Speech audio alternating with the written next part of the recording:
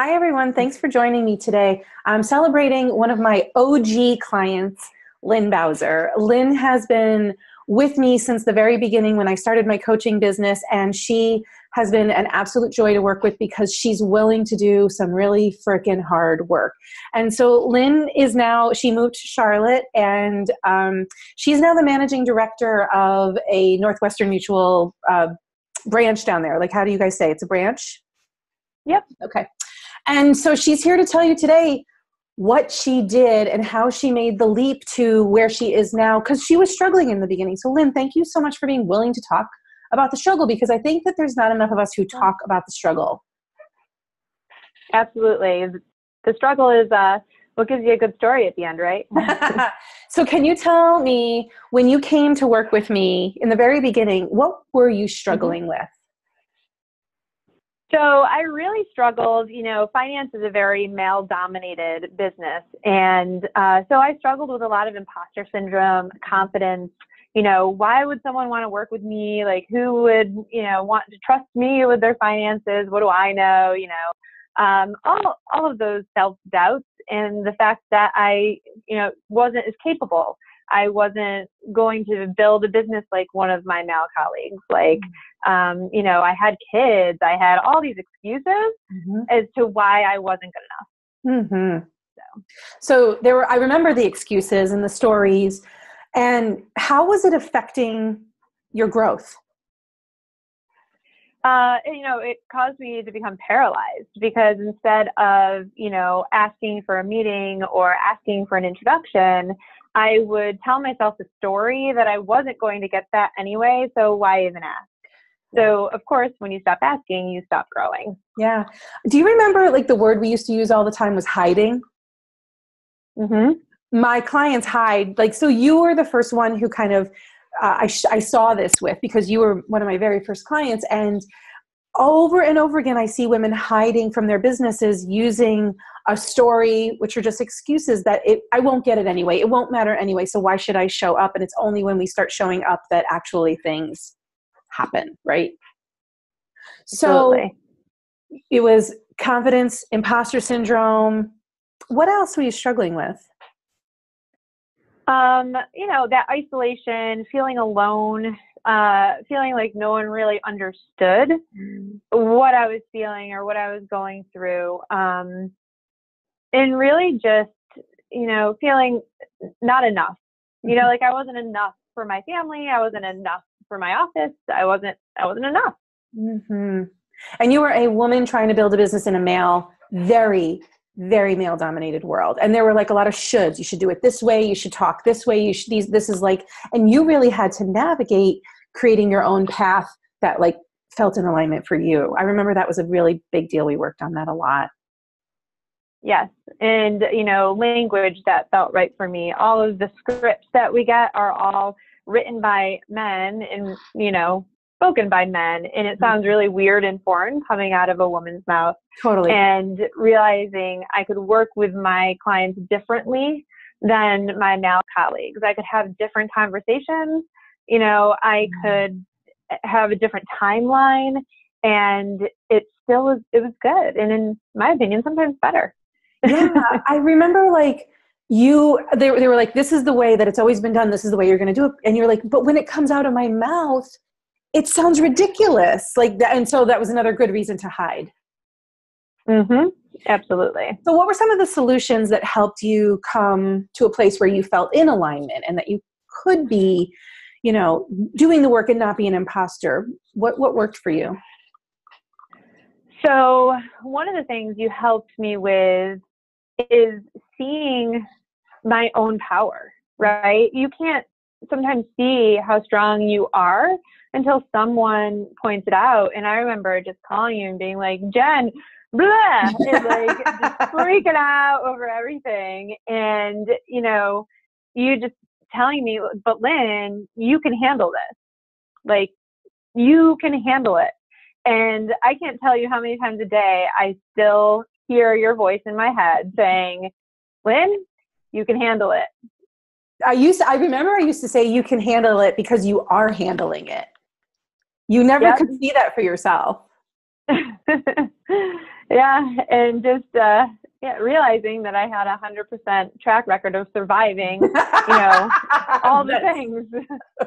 I have a hundred percent track record of dealing with all the shit that is handed to me. That's so true. Yep. So, what would you say?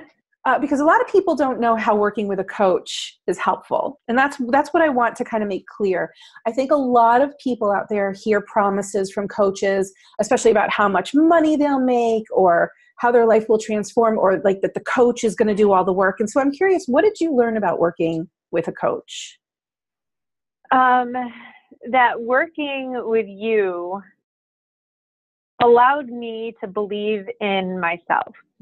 And so it's not about like return on dollar per se. It's about learning how to trust and believe in yourself. And you really were able to help me see that, like help me realize that. And you believe in me still more mm-hmm. than I believe in myself, mm-hmm. I think. Mm-hmm. And just knowing that and knowing there's a person out there that is going to listen to you they're not going to take your bullshit. yeah?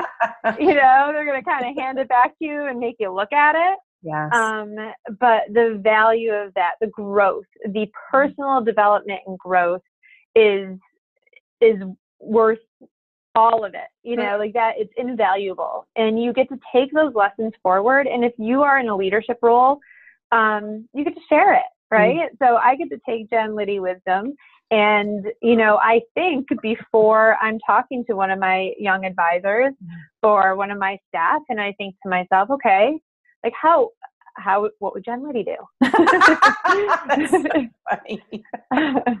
but it's, it's not, it, you can't even, I can't monetize it. It's, mm-hmm. it's invaluable. And, it is the best investment you can ever make because I like who I am as a person much more because of the work we've done together. Wow. So the next question I was going to ask you is how do you describe your results? And you just did. I like who I mm-hmm. am and I believe in myself more. And I wanted to say thank you because you don't, I don't know if you know this, but you are the reason that I started a podcast. Um, you said to me once, I wish I could just take you and put you in my back pocket and pull you out whenever I needed you. And I was like, oh, but if I had a podcast, she could. And so you're the reason that I did something that was really hard and uncomfortable for me. So thank you because you've given back to me numerous times like that. Awesome. Appreciate that. Wow. Um, you did private coaching and you said that you loved having somebody that you could just connect with whenever you need to. And it's also changed the way you interact with your staff. Has it changed the way that you interact with like your family or your partner? Has it affected like, outside of your professional life? Absolutely. And as a matter of fact, you've you've talked to numerous people in my family because you have a gift that not a lot of people have in the fact that you can help someone um, really dissect what they're working with and what may be under the surface that's causing them to be stuck um, without going into a whole bunch of mumbo jumbo or digging up the past or, yeah. you know, but really starting where we're at and moving forward. And I think that what people need to know about coaching in general is that um, you're really working from where you are and moving forward. And it doesn't mean you're never going to talk about something that's from the past, but you're not going to get stuck there like a therapist. Mm-hmm. Um, it kind of works that way. Coaching really for me, it was impactful because it helped me just be where I was and then move forward. And I use those theories all the time with my kids. I mean, mm-hmm. super helpful, right? Like we can't change the past. It's a, it's can't do anything about it. So what did we learn? Let's carry mm-hmm. that that message forth, and then um, you know go from there. Oh, it's so it makes me so happy. Thank you, thank you for all that. Mm-hmm. Um, what do you think that it's important for women on the journey of growing a business to know? Like, what have you gotten from all the friggin' hard work you've done? Because you've done some really shitty, deep, like digging down deep hard work. What mm-hmm. is something you've learned that you think like would make somebody else's journey easier? Uh, don't be afraid to look at your own shit. Like I know. I know. It's uh women, we feel so guilty all the time about everything, right? We are super guilty that we didn't make our kids play uh, because we were traveling. We're guilty because we want to stay up and create a necklace at night instead of watching that TV show. Um, you know, but then we also feel guilty if we didn't sit there and do those tax returns that night because I chose to go to my kids' play instead. So there's always something for us to feel bad about. Yeah. Um, but we often just cover it, right? We put the mask on and we are like, it's fine. We'll just ignore it. But if you are willing to take that mask off and really look beneath the surface and say, hey, like this is a part that's nagging at me all the time and I feel guilty about it. Like, let's look at it mm-hmm. and resolve it. It just, it's awesome. Like, it's just, it's just amazing. So, ladies, do not be afraid to, you know, call Jen and have her help you because it's just it's uh it's such a gift. It's such a gift that you could give yourself and you're worth it. You are worth the investment of time. And it's not about the money, it's about the time. Um, mm-hmm. And we all deserve to give ourselves the gift of time to take an hour out and really work on the stuff that nags at us.